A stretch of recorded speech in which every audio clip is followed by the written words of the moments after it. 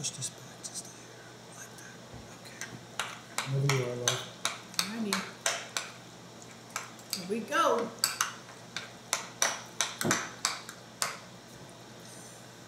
Good morning. Good morning.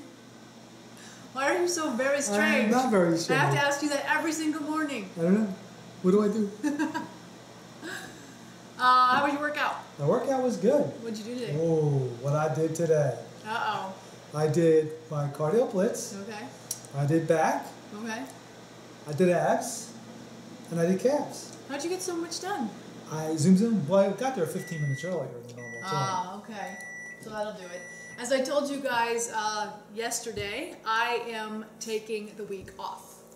So, which actually worked out really well if you follow me on social media, you know that I am co hosting a radio show today from noon to 3. So I have to look something that resembles professional. Right, so right. here you go. And your what station are you co-hosting on today? WDEL. Ah, so the Delaware radio station. Yes. Awesome.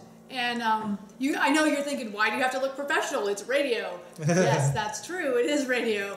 But um, we're bringing in a lot of the professional women here in Delaware because on Thursday it's International Women's Day. So we're going to be talking about women in business. Right. And so I am going to be working with the regular host, who is Rick Jensen, and we're going to be interviewing um, several of the successful women in business here in the Delaware area. Right. So I feel like I can't go in there looking like a frump. Hmm. So this is my not looking like a frump look.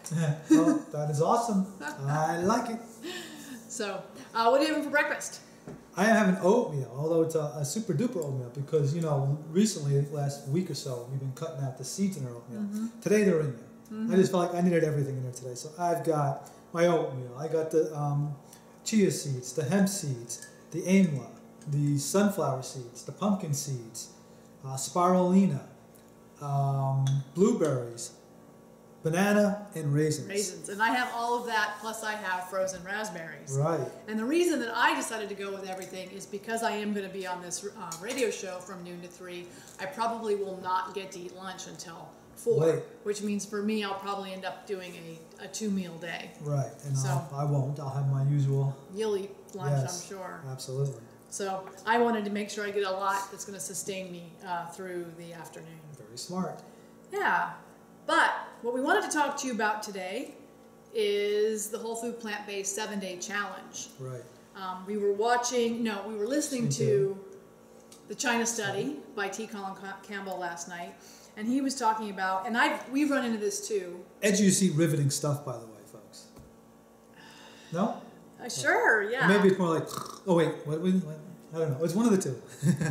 Um, he runs into the same thing we do, which is when we talk about whole food plant based, people's immediate reaction is, "Oh, I can never. right. I can never give up meat. Oh, I can never give up cheese. Oh, I can never." That's what people always say. Or they put you on the defensive right away. Right, they start asking, Right. you know, a bazillion questions and make you defend it, which Right. for me is fine. I'm more than Yeah, happy Yeah, you're to ready to defend go. it. I'm like, sure, let me give you the sign. How much time do you have? um, but for most people, that's really off-putting. Right. And so he made had the suggestion that what if rather than saying, "Oh, I'm going to move toward being whole food plant-based," which you know it took us nine months to get to where we are now. Right. What if you just said, "Hey, I'm going to do it for seven days," Right. or what if you what if I did it for 30 days? And I thought that that was an interesting idea. So I was wondering if you guys would find it helpful if I created like a seven-day meal plan right. that was you know seven days worth of whole food plant-based meals that you could use or incorporate um, the newsletter that we're sending out tomorrow morning is what to eat when you don't plan and it has like eight different things that you can throw together from the staples that we keep in the house. Right. and of course you can download our staples from the website and that link is in the um, on the blog post as well. Um, so that's one way you know if you don't plan then what do you do? But if, what if you want to just do the seven day challenge? What would that look like? And so that's an interesting question to, for me to, to ask people is if you were going to do this for seven days not permanently not forever not change your lifestyle Right. just for seven days what might that look like Right. Um, and, and I guess we're, we're aim, our aim is to make it as easy as possible by saying, here's what you eat. Here's your breakfast, lunch, dinner, snacks day one through day seven, snacks. Um, and hopefully that'll make it easier uh, for people to do the seven day challenge. But we were talking before we went live about how when you try to do this, you immediately are going to get pushback, you know, from your family and from your friends, and people are going to think it's strange.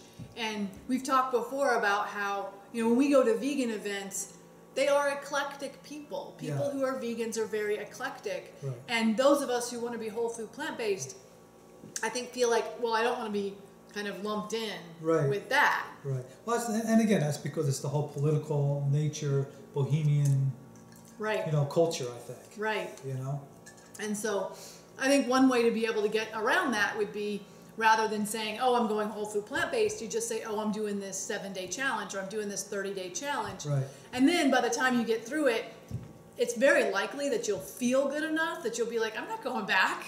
Yeah, that's crazy. I mean, what did, what did he say? In seven days, if you actually had your blood work done before your seven day challenge and had it done after your seven day challenge, you would immediately see results, Right. which is incredible. And I was talking to someone just yesterday who's been moving toward whole food plant based um, in the last two weeks. So she gave up eggs and dairy in the last two weeks, and she said she lost 10 pounds. And she was kind of a little afraid. So she asked me, Do I need to be concerned about that? Because 10 pounds in two weeks is a lot. And my response to her was that that's inflammation, and that's probably from eliminating the dairy Yeah, I'm sure. The casein protein, absolutely. because dairy causes a lot of inflammation and so it, when you eliminate dairy and of course that includes milk cheese yogurts ice cream any of that that kind of food anything dairy um, you're going to see a, a drastic drop and especially you're going to notice it people say oh i noticed that i look different because the inflammation goes away you're not as puffy That's right. Yeah. so if you're if you're gonna do a seven day challenge, I think you're gonna see that if you you know if you do honestly give up the eggs and the milk Right. and For seven days. and the and the meat products for Right. seven days. Right.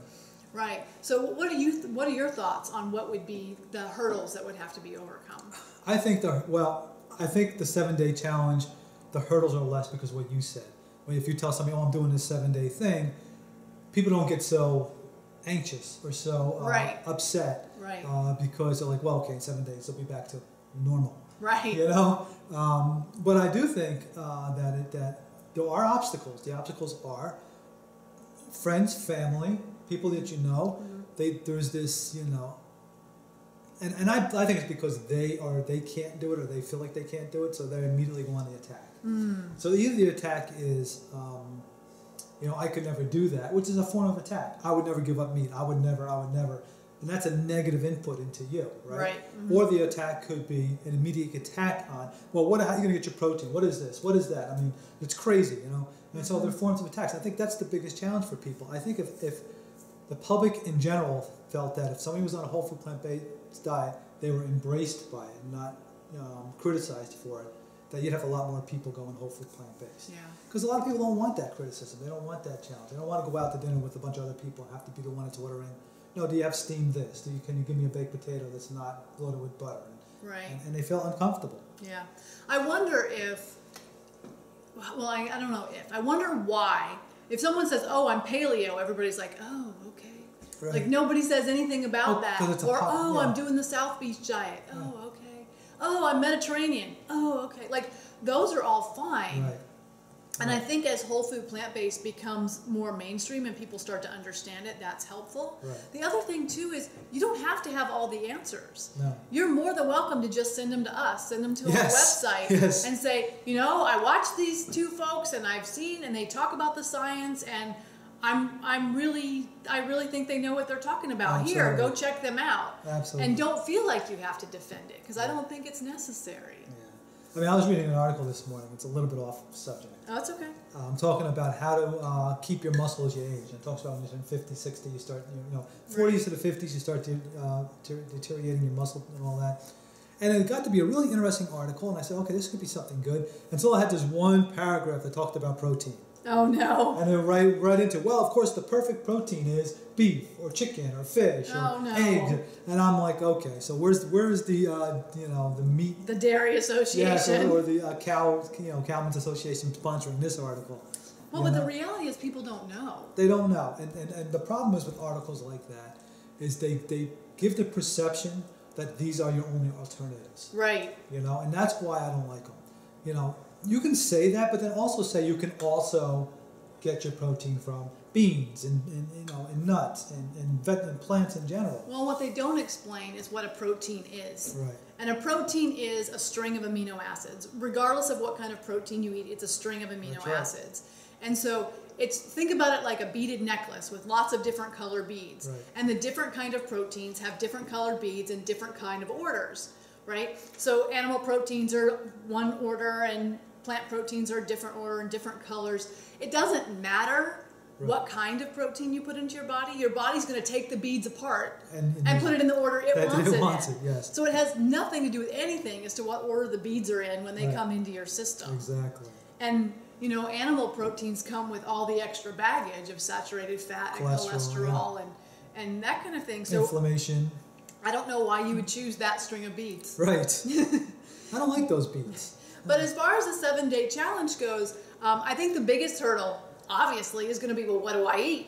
Because, you know, as Americans, you get really habituated into the, your pattern and what you eat and what your Right. paradigm is and what's normal food for you. Mm-hmm. And so, if you're going to do a seven day challenge, I would definitely encourage you to really think about okay, well, if I'm going to do this, what might it look like? What might I eat? And you know, go to our website, look at the recipes that we have. Look, if you're a member, look at our journals, look at what we eat all of the time. Yeah. Um, you look at the the newsletter I'm going to send out on Wednesday, and eat those eight things on there, even though they're what to make if you didn't plan, are all things that you could eat in your seven day challenge. And for those who aren't on our newsletter, if you'd like to be, you can uh, PM Robyn Yep, private message me on Facebook or or, you, email, or you can go to our website in the upper right hand corner. You'll see a thing that says join our email.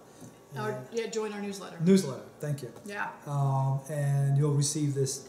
I mean, it's, she spends a lot of time putting together real information um, to help people, you know, figure it out. and it's not long. Like I don't write these long essays. I know sometimes when you get newsletter, it's three thousand words. Right. I write like 500 or 750. I try to make it really condensed so that you get the information you need quickly and can move on with your day. Exactly. So that's my goal. Um, did you have anything you wanted to add about the seven or 30 day challenge? Um, no, I guess we're not going to talk about the 30 day. We'll just stay with the seven day. well, so the 30 day is just the same thing repeated. Right, right. Well, the, So- the only reason why I mentioned the 30 days because again, when we were listening to the China study last night, um, they had one of his one of Dr. Campbell's staff who was a meat eater decided he was going to give do the 30 day challenge, Mm-hmm. and after 30 days, you know, between how he felt, the blood work, the loss of weight, and just the overall good health, he was like, why would I ever go back? So the interesting thing, which you may not get from the seven day, but you may, but maybe, but um, certainly on the 30 day, you'll have you'll have at that point realized, um, you know, the Right. phenomenal change your body's going through, and you would not want to go back. I believe. I feel like the, the seven day is enough to overcome that hump of, oh my God, I could never. Right. And that's what I get from a lot of people is I could never. Well, you certainly could for seven days. Yeah. And that'll help you with the psychological response of I could never. Right. If you do it for seven days. I agree. I agree. And Seven then- days is a good number because it's one, you know, it's one week. Yeah. and So maybe week- for next week's newsletter, I'll put together um, some ideas for what a seven-day challenge might look Okay. like. Maybe I'll maybe I'll do that. If you guys think that would be helpful, Yeah, let us know. Let us know. Thumbs up, hearts, whatever, something. Let me know that you that you think that that might be beneficial to, to give you some ideas for a seven-day challenge. exactly. Um, anything else? Um, Um, that's a long um. Gonna, I'm oh, wait, that wrong show. Uh, no, I think that's all I have for today. All right. So if you're getting value out of these, we do appreciate you being here and watching them. We do ask you to like and share so that we can reach more people. Right. Because our goal is to be able to help eliminate heart disease, diabetes, obesity, high blood pressure, and high cholesterol. And the way that we do that is by reaching people and giving them the knowledge they need to be able to make educated decisions in their lives. And you can help us do that by liking and sharing our content. Exactly. And so with that, Oh yeah, okay. I watched, I watched the thumbs up go across the screen. you got I got distracted. distracted. No, not so easily.